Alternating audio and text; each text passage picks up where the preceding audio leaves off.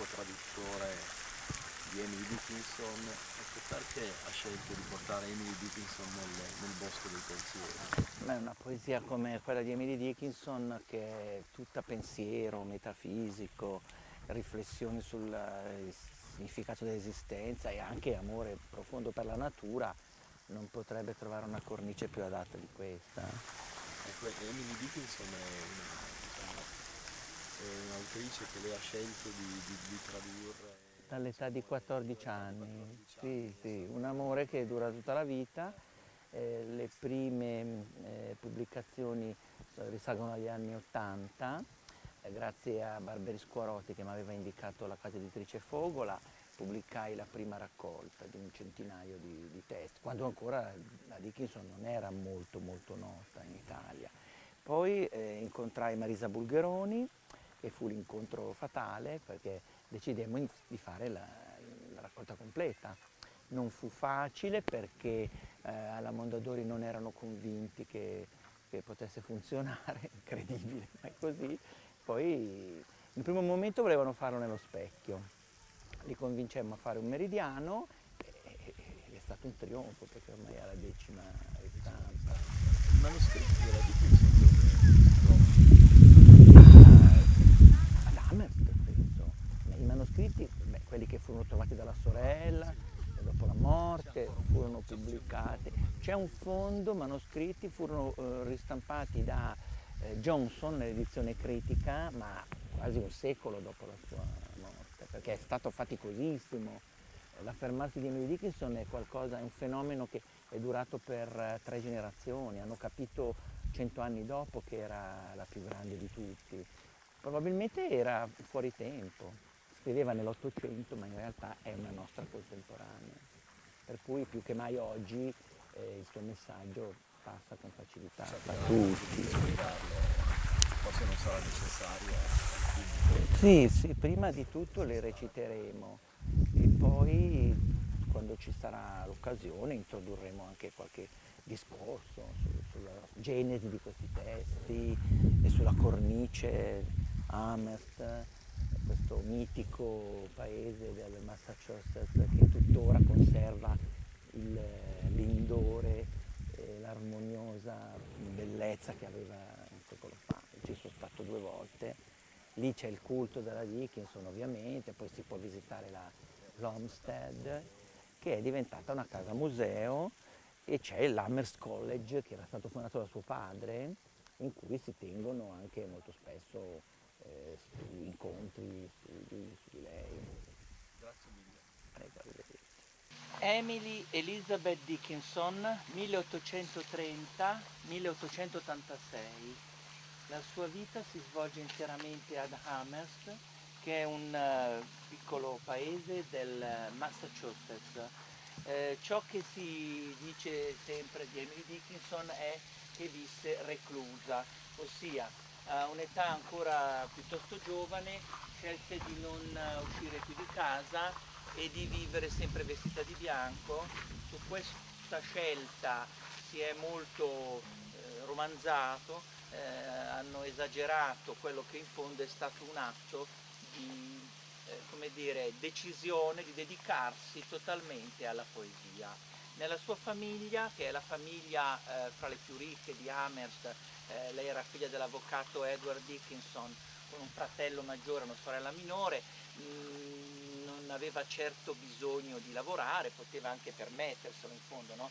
di non fare niente, come direbbero i maligni, e rimase tutta la vita in questo stato di eh, eh, non reclusione, ma isolamento. È una figura un po' mh, insolita per più motivi. Prima di tutto perché non aveva nessuna voglia di eh, comunicare all'esterno appunto di questo ristretto cerchio di persone dei suoi amici ai quali scriveva, c'è una corrispondenza fittissima e il fatto che scrivesse tante poesie e nessuno quasi lo sapesse è, è incredibile, no? tutta la produzione poetica di Emily Dickinson uscì postuma. Durante la sua vita furono pubblicati senza nome 5 o 6 testi su una rivista locale di Amherst per iniziativa di sua sorella e di alcuni amici. Il monumentale patrimonio di Emily rimase inedito. Vedere il cielo d'estate è poesia, anche se nessun libro lo contiene. Le poesie vere fuggono. Nell'Ottocento nessuno scrive versi di questo genere. Emily Dickinson è un uh, mistero anche in questo. Lei scrive in uno stile che è di cento anni dopo, scrive in uno stile che è già simbolista, che è già surrealista, che è già ermetico. A volte con una semplicità quasi eh, da antologia de delle scuole elementari, molte altre volte con una profondità metafisica che anche questa al suo tempo era piuttosto insolita. La prima poesia con cui di solito presento Emily è quella in cui lei si definisce nessuno. I am nobody. Who are you? Are you nobody too? Then it's a pair of us. Don't tell it, they could banish, you know. How dreary to be somebody. How public. Like a frog, to tell your name or live long John to an admiring bog. Io sono nessuno. E tu chi sei? Sei nessuno anche tu? Allora siamo in due. Non dirlo, potrebbero spargere la voce. Che grande peso essere qualcuno così volgare. Come una rana che gracida il tuo nome tutto giugno ad un pantano in estasi di lei. Questo è un testo che è poi quello che ho scelto per dare il titolo alla biografia di Emily, Io sono nessuno, eh, che ci mette subito in contatto con la sua straordinaria ironia. In un periodo come il nostro, in cui tutti i poeti o pseudotali fanno a gara per essere qualcuno, per essere visibili dovunque, no? e, e ritengono che la visibilità e la notorietà siano dei valori importanti, una poesia come questa andrebbe ripetuta molto spesso. Emily si dichiara nessuno, ovviamente sa bene di non essere nessuno, che non è vero che è nessuno, però piuttosto che contaminarsi eh, essendo visibilmente qualcuno, sceglie l'isolamento e la clausura. Quindi è proprio l'opposto di tutto il bovarismo che trionfa oggi dovunque. È questa la mia lettera al mondo, che non scrisse mai a me, sono semplici cose che natura mi disse con toccante maestà. Il suo messaggio affido a mani che non vedo. Gente della mia terra, per suo amore, si giudichi di me teneramente. Il fatto di recitare delle poesie in traduzione è sempre un po', come dire, limitativo, limitante, in effetti le poesie di una lingua non nostra andrebbero ascoltate nella lingua originale ed è quello che cerco di fare anche oggi nei limiti del possibile. Perché la lingua originale, in questo caso l'inglese, ha delle eh, assonanze, degli effetti fonetici, del, delle caratteristiche peculiari che in italiano non si rendono. Per cui è meglio eh, affrontare prima il testo in originale. Moltissimi testi di Emily Dickinson parlano della poesia, poiesis, ossia la creazione che attraverso le parole ordinate, selezionate in un determinato modo musicale, eh, arriva alla eh, come dire, fissazione di alcuni concetti oppure esprime delle sensazioni profonde che possono essere recepite anche dagli altri. Il modo di esprimersi di Emily Dickinson è un modo molto moderno, benché spesso usi delle strutture e delle rime classiche. Come per tutti i geni, per lei non valgono etichette di sorta, cioè è difficilissimo, se non impossibile, inquadrarla in una precisa linea, in un preciso movimento. Emily Dickinson scrive come le viene di scrivere assolutamente avulsa da qualsiasi influenza dei poeti del suo tempo. I poeti del suo tempo sono, per intenderci, Walt Whitman, grande pioniere dalla voce reboante che dice io mi sparpaglierò per il mondo, eh, ha questo tono così prometeico. Emily Dickinson è assolutamente diversa, ha un tono molto eh, self-centered ma molto eh, dimesso. Ma queste persone sono venute già le altre volte.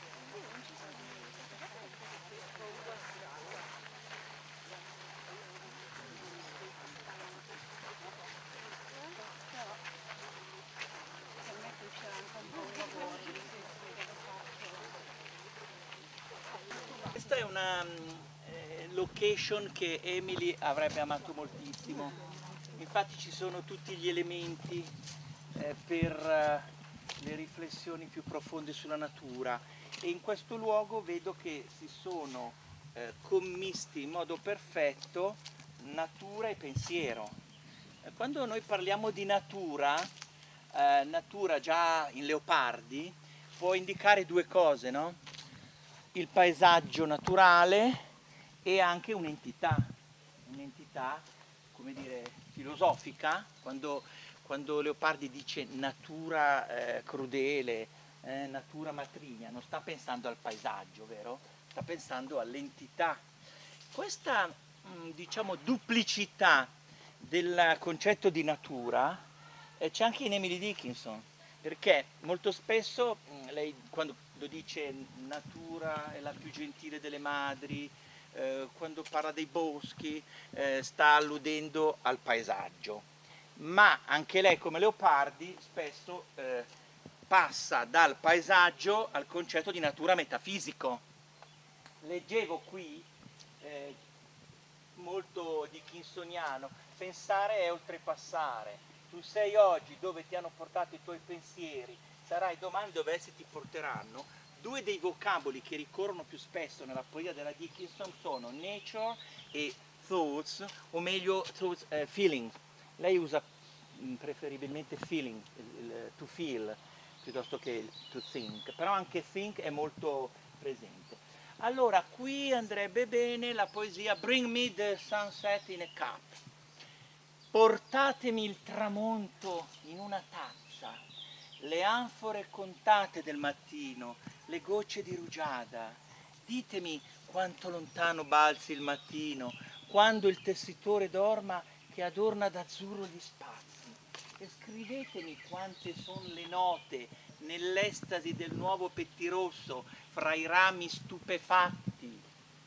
E quante gite fa la tartaruga, e quante coppe di rugiada beve l'ape ebra chi gettò i ponti dell'arcobaleno e chi le docili sfere conduce con vincastri di morbido azzurro? E quali dita foggian stalattiti?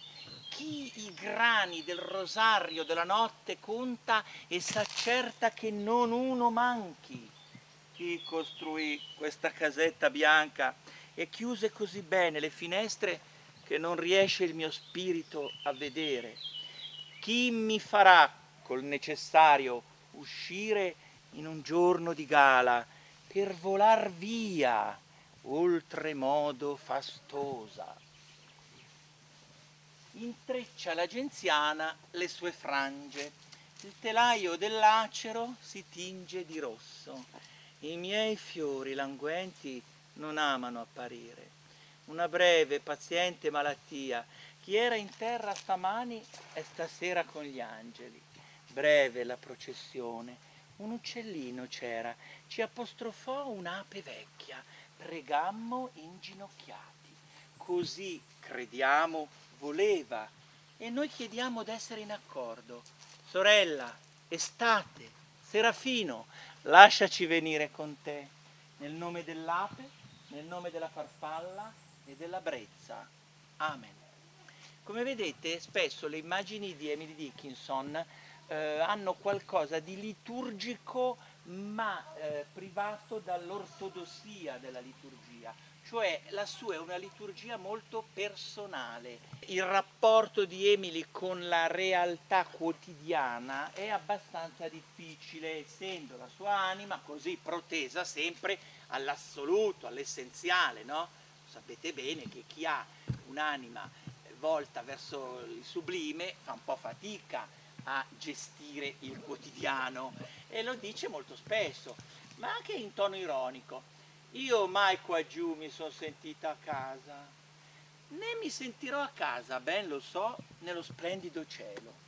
Non amo il paradiso, là ogni giorno è domenica e così solitario sarà l'Eden nel fulgore dei pomeriggi ogni mercoledì. Se il buon Dio andasse in visita o schiacciasse un sonnellino tanto da non vederci, ma si dice che egli sia un telescopio che di continuo ci guardi. Io vorrei scappare via da lui, dallo Spirito Santo, da tutto. Ma c'è il giorno del giudizio. Il poeta è una creatura mai indifferente ad alcunché e tantomeno indifferente a tutto quello che dalla natura e dal paesaggio proviene come voci, sussurri, bisbigli, luci e lei quindi molto spesso eh, è come se fosse una cronista di questi messaggi naturali e sovrannaturali al contempo e questo è molto simbolista. Infatti Emily Dickinson, benché non lo sappia, anticipa anche il simbolismo. Simbolismo è un movimento che quando lei scrive in effetti è già in atto in Francia, ma lei non ne seppe nulla. E mm, la poesia a cui lei è più vicina coscientemente è forse quella di Emily Bronte, l'altra grande vergine reclusa eh, in Inghilterra, no? nella brughiera dello Yorkshire, è Emily Bronte, che lei amava molto. Lei aveva letto le poesie della Bronte, viceversa non poté accadere perché Emily Bronte non poté mai leggere quelle di Emily Dickinson ed era rimasta molto coinvolta da quella poesia così metafisica, eh, così dark. La poesia di Emily Bronte è sempre trascurata perché si parla sempre della Bronte come autrice di Cime Tempestose.